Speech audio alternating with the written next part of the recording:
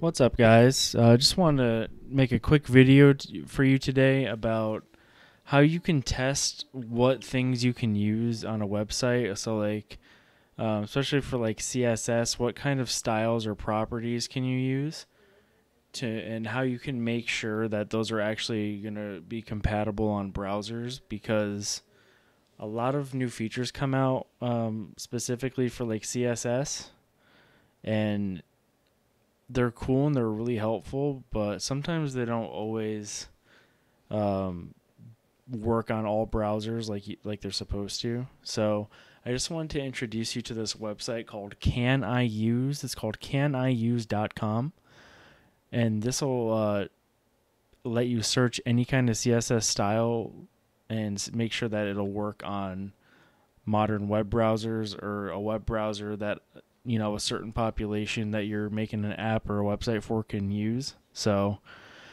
for example, if you're making a, like an application or a website for say like a nursing home for like an older population of people that are going to be using it, maybe a lot of them don't understand um, like updating stuff or updating web browsers, and maybe they use old stuff like Internet Explorer, which is like dead, but like you could still use it, I think or maybe they just use like older versions of stuff. They have like really old. Uh, maybe they have like a 2012 iPad and they can't even download the newest version of Chrome, so they're stuck on Chrome 2014 or whenever they, whenever they stop supporting the iPad 2012. I have an old iPad, so I know that's a thing.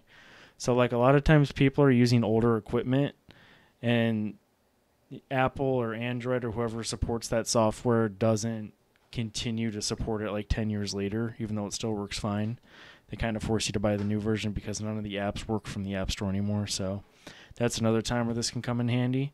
But just to show you, this is caniuse.com, and I'm just going to type in like a property called like uh, grid. We'll say CSS grid. That's all you have to type in, and it knows what you're talking about.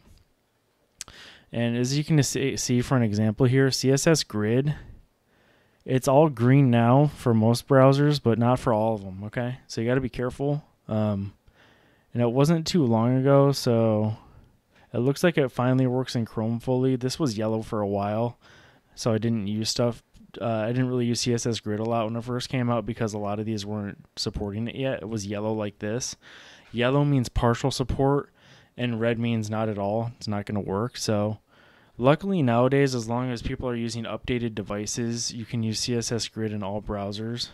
These are the most recent ones. I don't think this was till this year.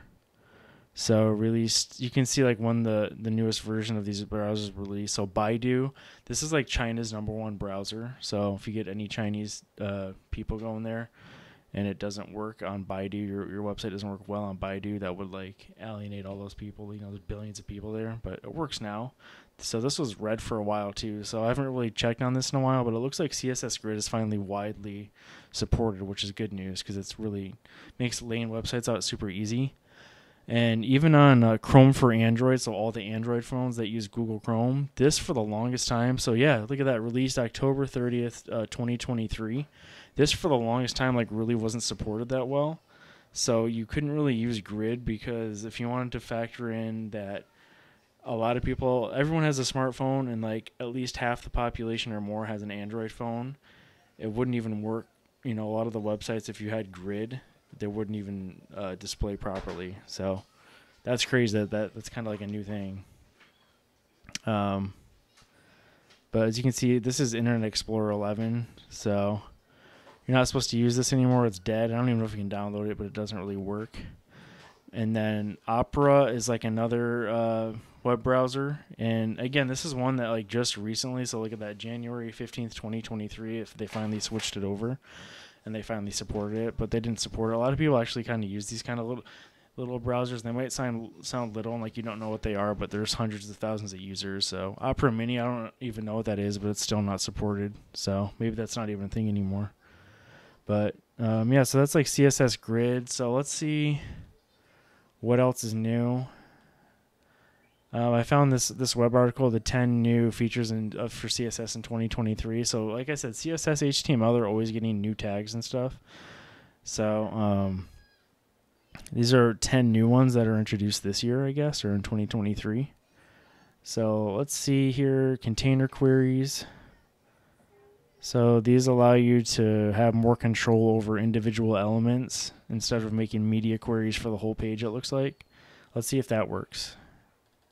Let's go in here, see container queries.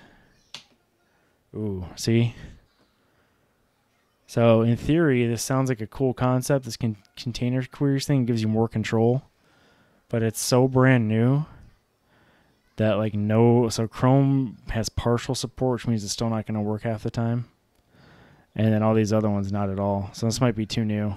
I don't know when container queries came out, but um, again, if we revisit this in like a year from now, a year or two, this these will all probably be green. But for now, can't really use them, so kind of useless. That's the one thing about CSS is like new stuff comes out all the time, but you go you, you go to a website like can i use and you discover like hey this isn't that and that's how css grid was for like two or three years it was cool but like using it on a production project that was going to have like hundreds of thousands of users was not really feasible it is now but it usually takes a couple years for all the browsers to adopt everything. How about this one? Viewport units.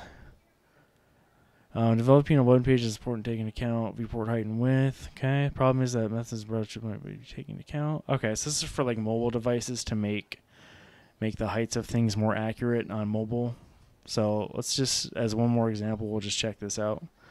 So viewport units. Let's see. Viewport units. see if this is the thing. The vmin, vmax. Let's see. So what is this though? SVH and SVW. There it is. So let's type that in. Let's type in SVH. See, um, SVH is. I think this is it and you can see like Firefox doesn't support it. Um, Chrome looks like it does. Chrome for Android does. So as long as Safari and Chrome for Android support something, you're probably good to go. And then if Chrome and Safari for desktop, you're probably good to go. But Firefox doesn't support this at all. Uh, how about CSS nesting?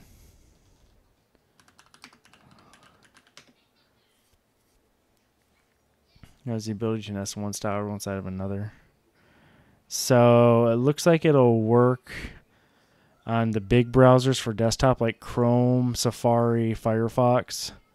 Safari on iOS has it, so if you use Safari on like an iPhone, Firefox for Android has it, but nobody else really does. It's par- it's only partial on Chrome for Android, so for me that would automatically be like I'm never using this until that changes because that's millions and millions of users. So 35% of the global population. So, yeah. But then you let's go to one more like Flexbox. And this has been around for a while and it's fully supported. This with CSS Grid, um, this was also there was a couple years where this was a little shaky, but we're good to go. But um, yeah, guys, I think it's enough examples here. Uh, I just want to let you know about this resource, caniuse.com. Make sure if you're making a website that you know for sure a lot of people or a decent amount of people are going to be using that um, you're not just chasing brand new technologies all the time because they're not always going to work. Always check them if you're not sure, and uh, that'll make you and your your users or your clients a lot happier. all right, guys. Uh, thank you so much for watching, and I will talk to you in the next video.